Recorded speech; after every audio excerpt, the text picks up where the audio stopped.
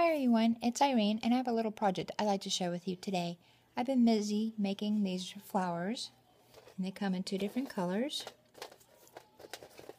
Let's see here. And come as peach color.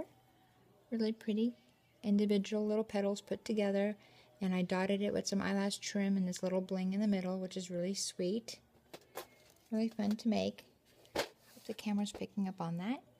I made some of these here, and the difference here is a darker pink with the little paper rosette in the middle and eyelash trim. So these were a lot of fun to make. And these have eyelash trim with a flat back pearl on the top there.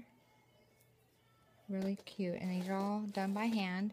Some are made with no eyelash trim, which is really pretty and elegant.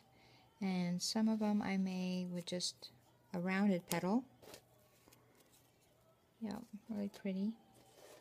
And uh, different sizes, different amount of petals put together. Good like kanzashi uh, flowers.